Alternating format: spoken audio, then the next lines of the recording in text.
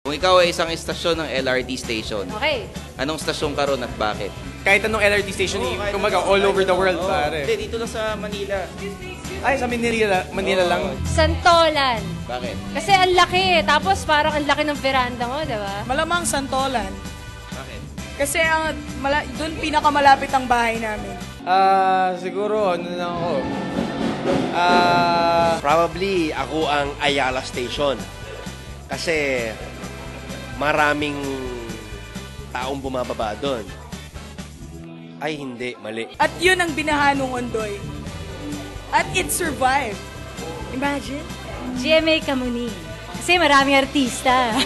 Ang ako yung station na walang taong bumababa. Dahil ayoko talaga ng tao eh. Hindi ako mahilig sa tao. Mahilig ako sa hayop. LRT2, yung sa may ano, di ba? Alin nga ron station na doon? Ah, station mismo. Oo. Uh, it's, a, it's a station. Because everyone likes to get off there. no, no, you can't say, we can't say that, can we? No. Ano sabi niya? Everyone gets off there. no, I'm sorry. Nagets mo ba yun, Stan? Hindi, pare. Hindi ko ata nagets yun. Buti na lang, magaling ka mag-costume, pare. Oo. Ah, station, akala ko pala yun mismo, ano. Okay, okay, got it, got it. Ah, ano ako, ano ako. For me, ah, Ayala. GMA Kamuning, you rock!